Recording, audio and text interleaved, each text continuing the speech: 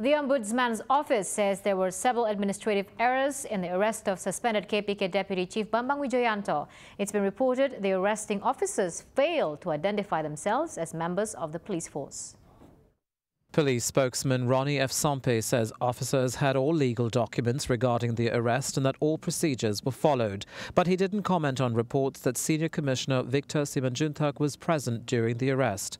Victor's name was not on the warrant list issued for Bambang's arrest last month. The Ombudsman's office says that Victor was a mid-ranking police officer of the National Police's Education Institute while it was headed by Commissioner General Budi Gunawan. Bambang's arrest is widely believed to be in retaliation for the KP KPK's move to declare Budi a graft suspect. The Ombudsman also says that while similar cases had been neglected by the police, some for almost 15 years, complaints against Bambang were processed very quickly, almost in a matter of days. Pada prinsipnya tidak ada penunjukan atau pelibatan anggota Polri yang tidak berdasarkan perintah yang kemudian diikuti dalam bentuk surat perintah. Ya.